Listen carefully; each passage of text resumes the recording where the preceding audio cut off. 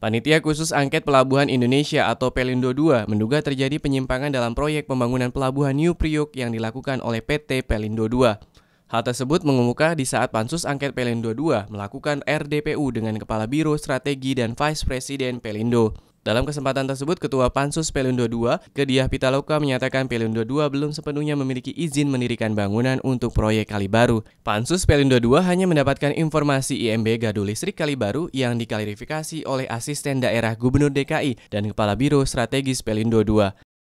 IMB satu-satunya yang dikeluarkan adalah IMB Gardu Listrik ya seluas 220 meter persegi di Kali Baru. Jadi tidak ada untuk bangunan yang di darat maupun di laut. Nah lalu kemudian izin reklamasinya dia ada tiga uh, diperbarui terus. Uh, ini juga sedang kita cek kesesuaian dengan aturan yang ada. Sementara itu, anggota Pansus Pelindo II, Nurdin Tampubolon, menyoroti keberadaan dan peran David Wignal di dalam struktur organisasi Pelindo II yang merupakan warga negara asing. Nurdin menjelaskan awalnya David ditunjuk sebagai advisor, namun kemudian diangkat menjadi Vice President Pelindo II. Menurutnya, hal itu bisa dilakukan jika perusahaan Pelindo II merupakan perusahaan yang bekerja sama dengan negara lain, sehingga struktur perusahaan dapat dipilih berdasarkan pemilik saham.